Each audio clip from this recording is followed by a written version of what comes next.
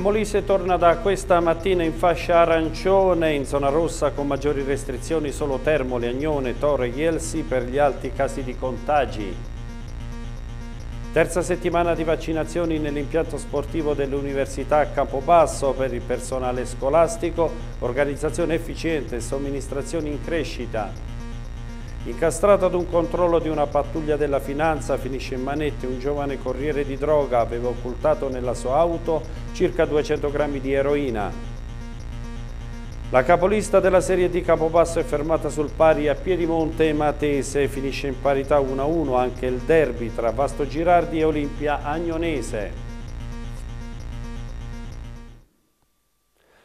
Buon inizio di settimana ai nostri telespettatori. Un giovane di 34 anni ha perso la vita per complicanze da coronavirus. Si tratta di Daniele Gallo, originario di Gambatesa. Una seconda persona, una donna di 54 anni malata gravemente ai polmoni, è stata strappata alla vita nelle ultime ore.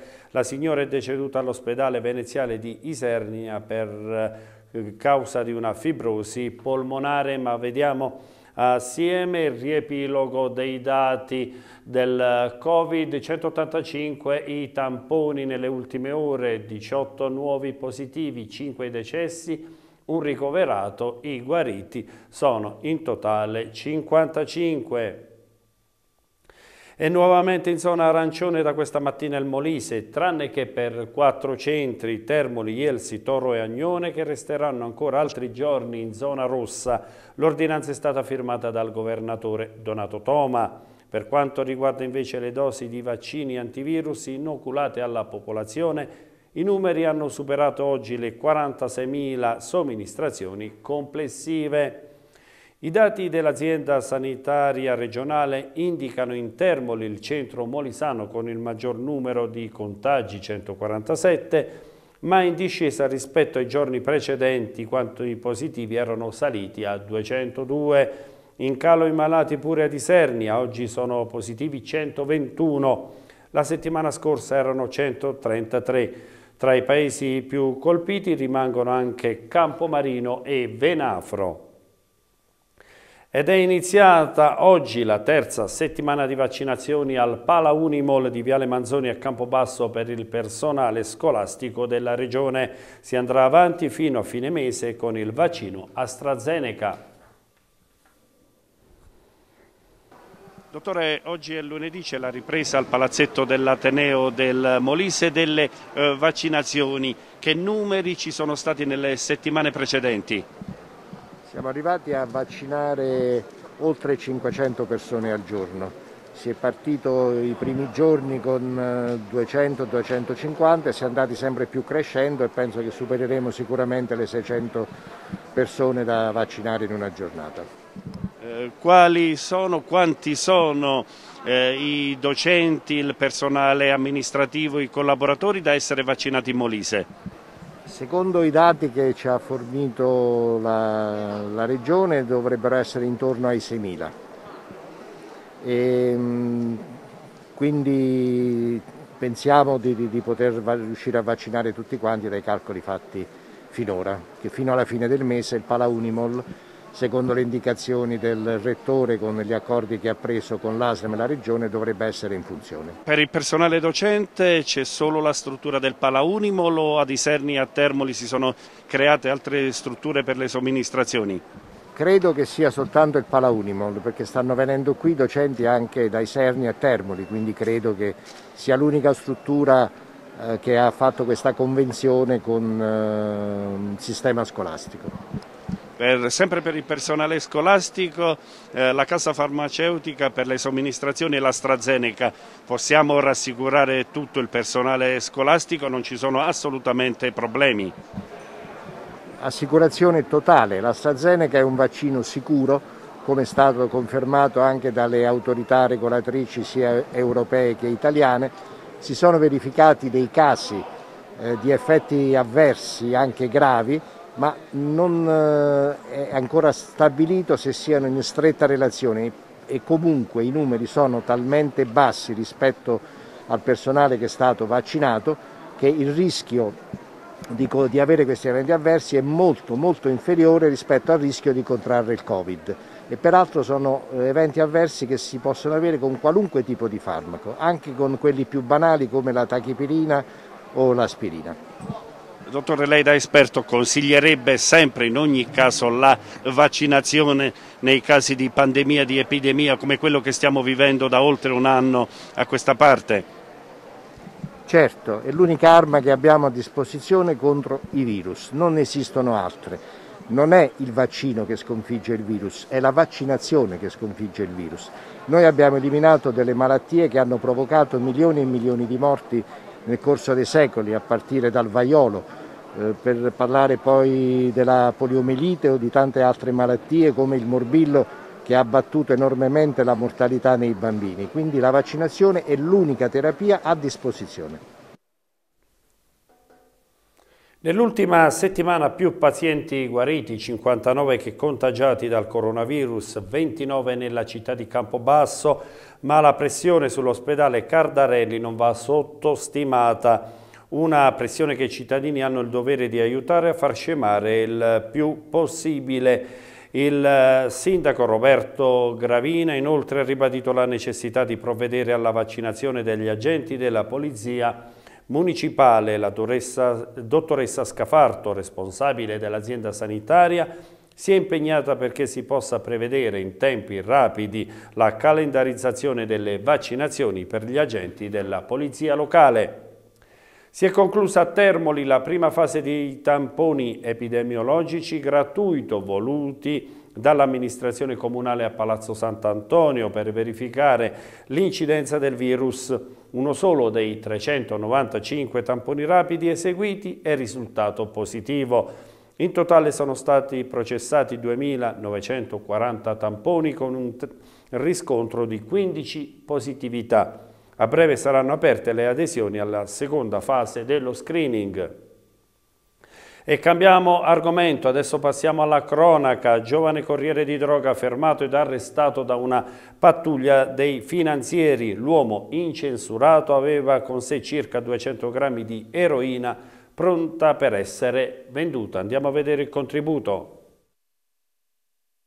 Gli uomini della Guardia di Finanza del capoluogo hanno arrestato un insospettabile giovane impiegato per detenzione e trasporto di sostanze stupefacenti, 200 grammi di eroina che nascondeva nel vano motore della sua auto fermato ad un controllo dei militari. Proprio nei momenti di verifica da parte della pattuglia in una strada interna al confine tra la provincia di Foggia e quella di Campobasso, il giovane, 25 anni ed incensurato, denotava insofferenza, destando i sospetti degli agenti. Lo stupefacente sequestrato ha un valore stimato sul mercato di oltre 5.000 euro.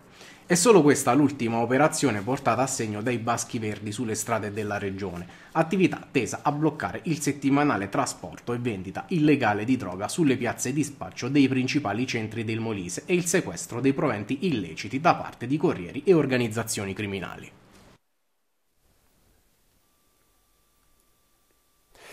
Colloquio di manifestanti guidato da Emilio Izzo questa mattina di Isernia con il viceprefetto Scioli sul pagamento illegale dei parcheggi auto nel centro cittadino del capoluogo di provincia. Un altro argomento dell'incontro è stato quello del divieto di una manifestazione politica pubblica richiesta nei giorni addietro dinanzi la eh, sede del neo assessore regionale Mena Calenda, protesta che si farà in ogni caso lunedì 29 alle ore 10, mercoledì mattina invece comitati e associazioni torneranno ad incalzare la classe politica regionale in via 4 novembre a Campobasso.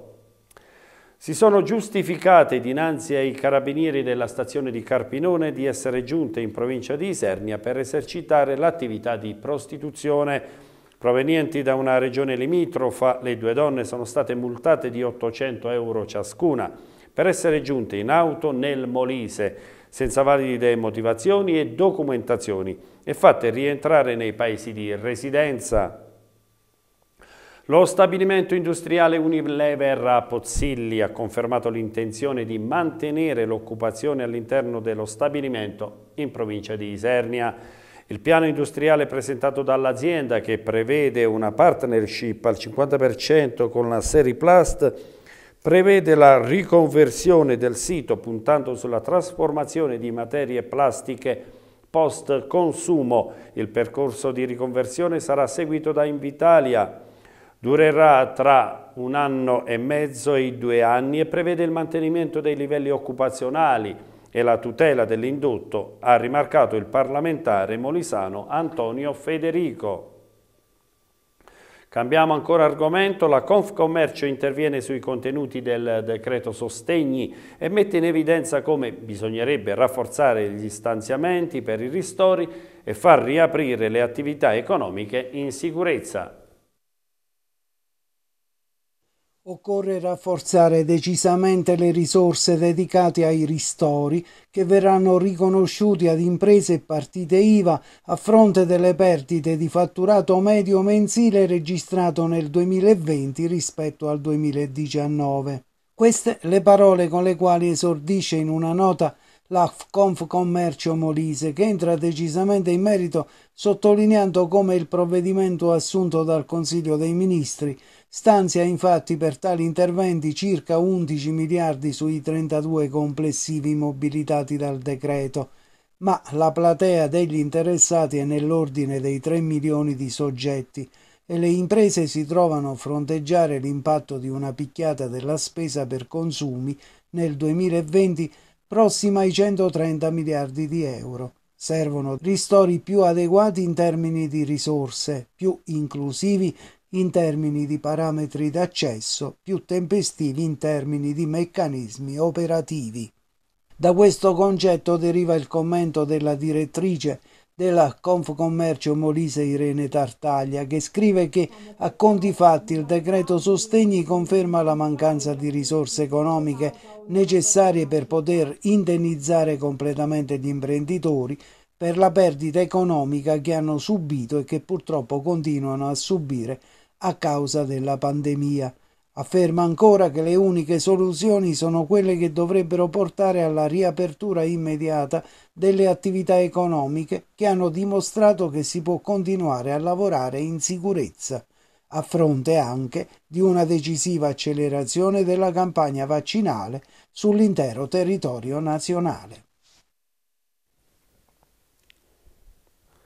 Passiamo un attimo alla politica. Ho firmato la mozione di sfiducia perché parte dell'attuale maggioranza di centrodestra alla Regione Molise non ha interesse a rendere l'ospedale Vietri di Larino centro Covid e anche perché non garantisce le cure sanitarie ai cittadini e quanto dichiarato da Aida Romagnuolo, esponente di Fratelli d'Italia a Palazzo Daimmo. L'apertura del centro Covid nel nosocomio frentano si rende necessario per gli oltre 400 decessi e le migliaia di contagiati, ha concluso la Romagnuolo. Il sindacato USB promuove un nuovo presidio del personale della sanità dopodomani pomeriggio dinanzi alla sede del Consiglio regionale del Molise a Campobasso al fine di risolvere la questione lavorativa che riguarda gli infermieri e gli operatori socio-assistenziali contrattualizzati con partita IVA fino al 31 marzo.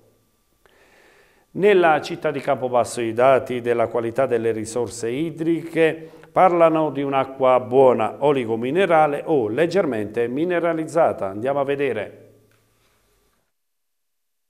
Come di consueto, in occasione del World Water Day è stato pubblicato il rapporto annuale sulla qualità dell'acqua della rete pubblica di Campobasso accade ogni anno e come si evince dalla tabella di sintesi elaborata da Idrosfera e pubblicata sul sito del comune, offre la possibilità a tutti i cittadini di verificare e valutare i risultati dei costanti monitoraggi dell'acqua pubblica, confermandone l'assoluta qualità e le ricche proprietà.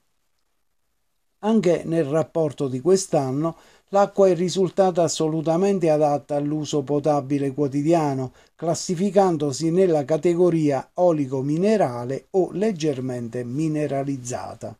Nel corso del 2020 sono stati effettuati ben 144 campioni con relative analisi di laboratorio e 96 controlli ispettivi dei manufatti dell'acquedotto, con esiti sempre perfettamente in linea con gli standard fissati dalle normative. Tutto questo a garanzia delle persone che usano quotidianamente l'acqua sia per berla che per fini comunque alimentari.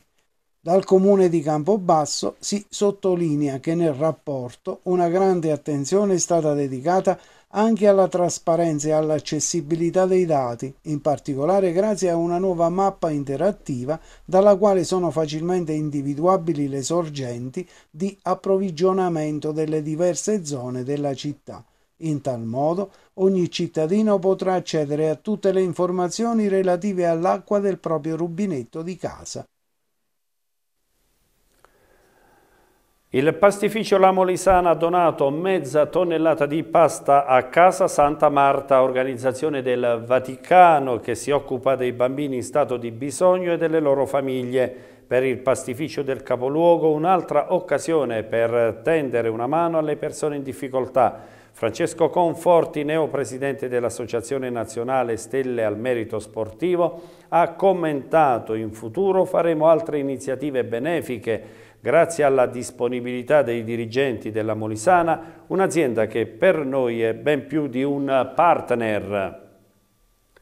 Organizzato dall'Associazione Nazionale Città del Tartufo, dopodomani alle 17.30 si terrà gratuitamente online un incontro per scoprire l'analisi sensoriale del tartufo nero è uno degli eventi in attesa della decisione sulla candidatura UNESCO un appuntamento che unisce circa 50 località del tartufo in Italia, un'occasione per approfondire la conoscenza del tartufo pregiato come quello di San Pietro Avellana. Sarà un confronto coordinato da Isabella Gianicolo del Centro Studi Tartufo di Alba che guiderà gli esperti di comunicazione enogastronomica all'approccio sensoriale. E siamo adesso come ogni giorno alle previsioni del tempo.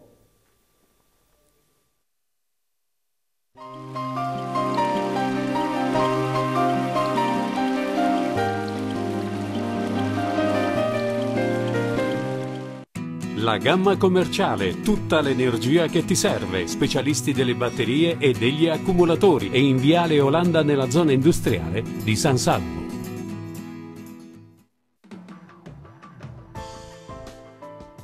Tempo incerto e nubi sparse nella giornata odierna, possibili fenomeni temporaleschi misti a neve nel corso della giornata. Le temperature sono comprese tra la minima di un grado a Campobasso e la massima di 12 gradi a Termoli. Dalla sera demoli nevicate sull'Alto Molise e coperto sul resto della regione. Domattina ancora maltempo e temperature in discesa. Molto mosso il mare Adriatico, venti da moderati a forti dei quadranti settentrionali.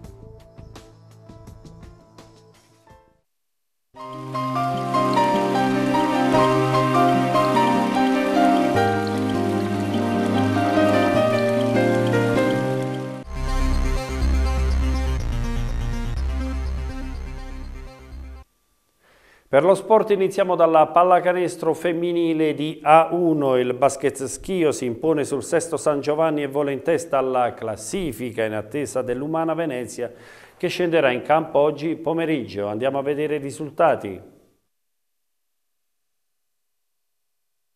Ventitresima giornata del campionato di Serie 1 di pallacanestro femminile. Bologna Broni 93 66 a 46, Costa Masnaga Ragusa 71 a 83, Empoli Sassari 79 a 70, Lemura Lucca Battipaglia 74 a 66, San Martino di Lupari Magnolia a Campobasso 53 a 49, Sesto San Giovanni Basket Schio 54 a 72, Venezia Vigarano rinviata oggi. La classifica, Basket Schio 42 punti, Umana Venezia 40, Ragusa 36, Bologna 34, Sesto San Giovanni Empoli 28 punti, San Martino di Lupari 24, Costa Masnaga 22, Magnoli a Campobasso 18 punti, Lemura Lucca 14, Broni 93 12, Dinamo Sassari 8, Battipaglia 6, chiude Vigarano a quota 2 punti. Sconfitta di misura per la Magnoli a Campobasso che sul terreno di gioco del San Martino di Lupari domina per buona parte della contesa ma alla fine a spuntarla sono le padrone di casa.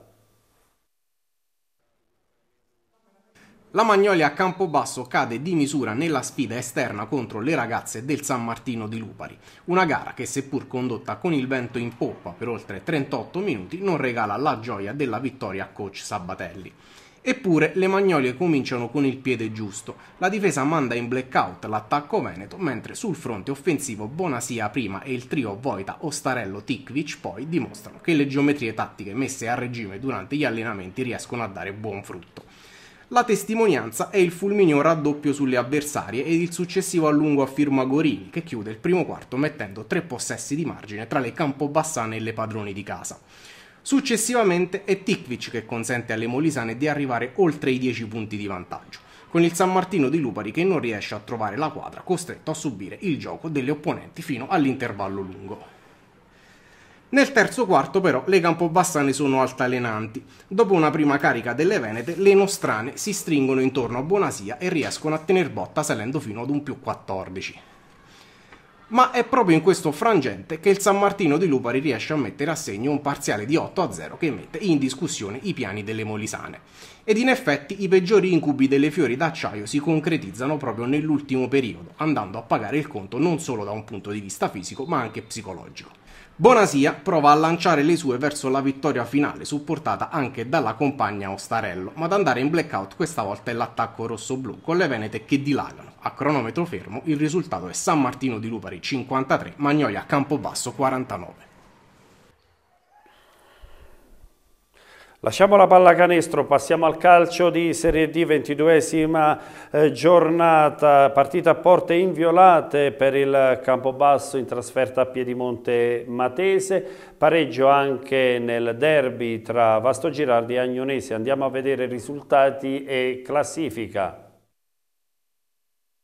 22esima giornata del campionato di calcio di Serie D Girone F. Castelnuovo Mano Castelfidardo 2 a 3. Cinzia Albalonga Giulianova 1-1, Matese Campobasso 0-0, Recanatese Pineto 2-2, Vasto Girardi Olimpia Agnonese 1-1, il resto delle partite rinviate.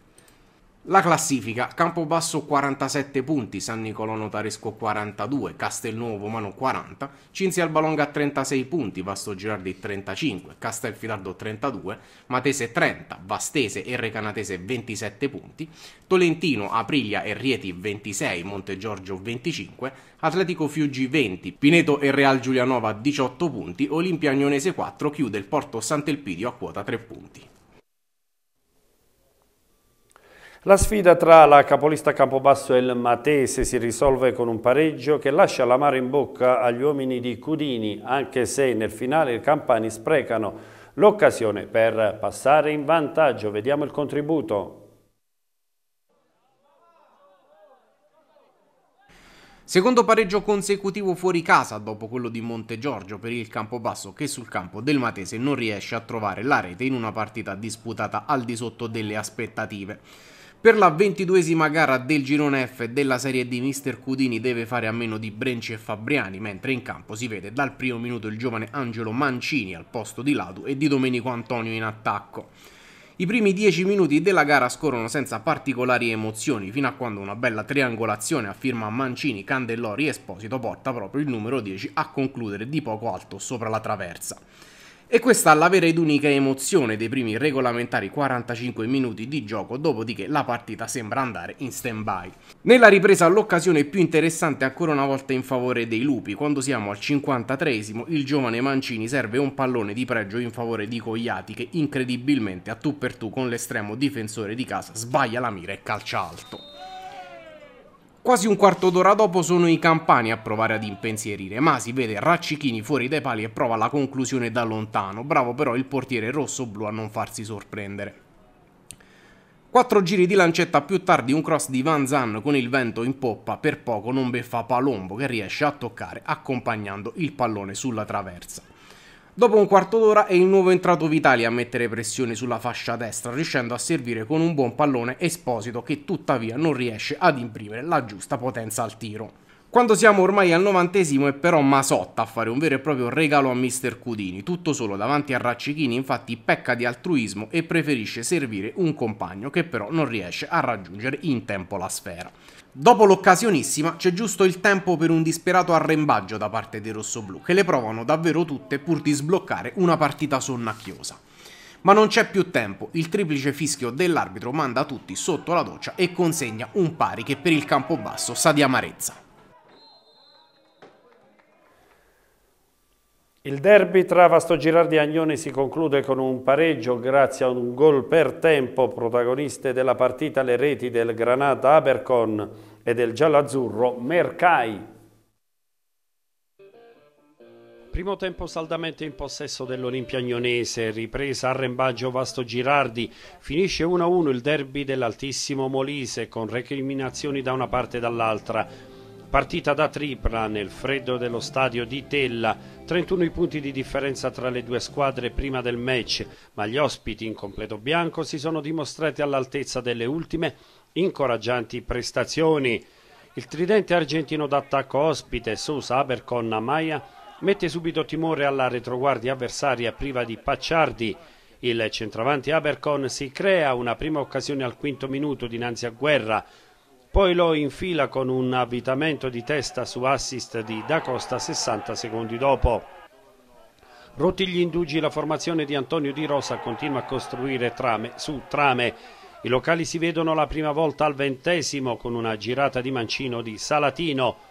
L'Olimpia avrebbe l'opportunità di trafiggere ancora, ma dopo un batti e ribatti in area, Tankulic non è decisivo alla mezz'ora.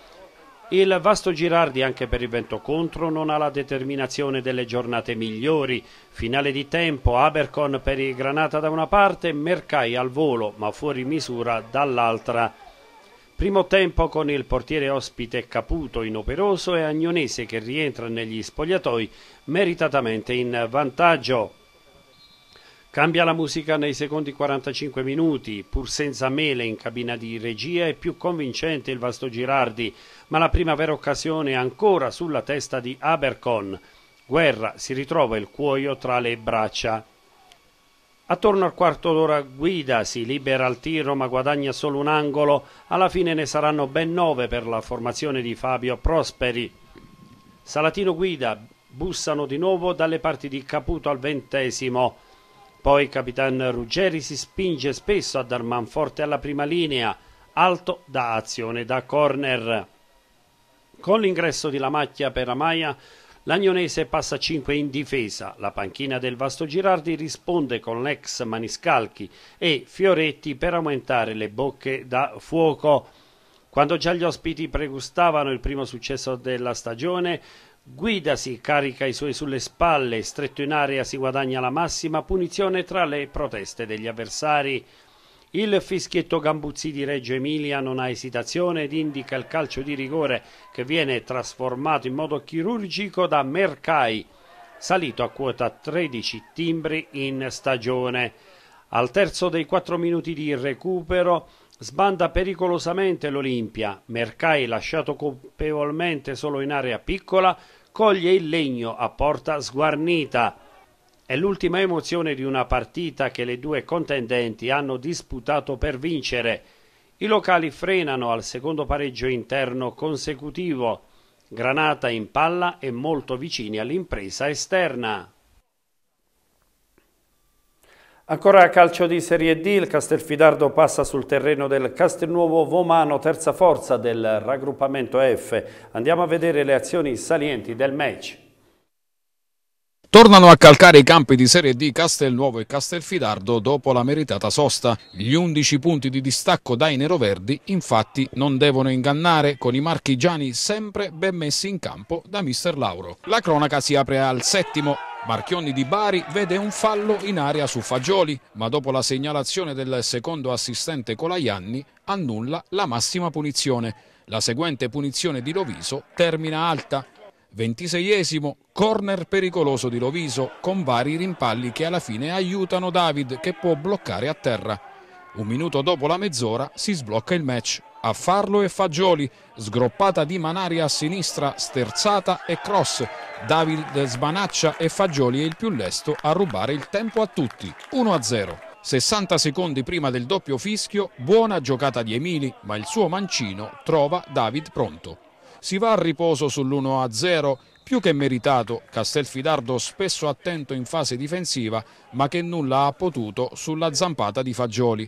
Poco però in fase offensiva con il Castelnuovo che ha chiuso bene tutti gli spazi. Nella ripresa subito due emozioni, la prima per i neroverdi quando Manari vede Emili sul secondo palo, il 10 non arriva per questione di centimetri. Al sesto gli ospiti sfondano a sinistra con Mataloni che scarica per Giampaolo, il tiro masticato va sul fondo. Nono minuto, Fagioli lotta e vince, pallone rubato sulla tre quarti da parte del 9 che appena in area salta David. Quest'ultimo può solo stendere il centravanti nero-verde, poi per lo viso dal dischetto è una formalità.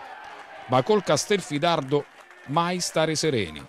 Giampaolo riapre la gara attorno al quarto d'ora col 10 bianco-verde che dal limite trova un destro chirurgico che fredda Olivieri gara che si riapre proprio nel momento in cui sembrava chiusa. Fagioli continua a creare pericolo agli avversari e attorno al ventesimo un suo colpo di testa costringe agli straordinari David che manda in angolo. Ventottesimo, stavolta Emili arriva in tempo sul pallone di Manari, ma in spaccata non trova lo specchio, mandando alto. Nemmeno due minuti e tocca ad Olivieri lo straordinario. Il tiro di Fermani è insidioso, ma l'estremo nero-verde c'è. Al 38esimo Olivieri però non può nulla. Straordinario Giampaolo in area che salta Loviso, appoggia Braconi che apre i rubinetti per una doccia gelata ai danni del Castelnuovo. 2 a 2. Non succede più nulla fino al cinquantesimo, quando accade l'impensabile. Per Papai si ritrova il pallone sui piedi e segna il gol vittoria per un Castelfidardo Maidomo. Chiudiamo l'atletica, arrivano due medaglie per il Molise ai campionati italiani indoor master di Ancona, conquistarle entrambe Morena di Benedetto della Naisernia, la portacolori della società presieduta da Agostino Caputo ha portato a casa gli 800 metri nella categoria over 40. La stessa di Benedetto nella giornata di sabato è stata protagonista anche nei 1500 metri, chiudendo con al collo la medaglia d'argento e con l'atletica leggera è veramente tutto, grazie per essere rimasti con noi a questa sera, arrivederci.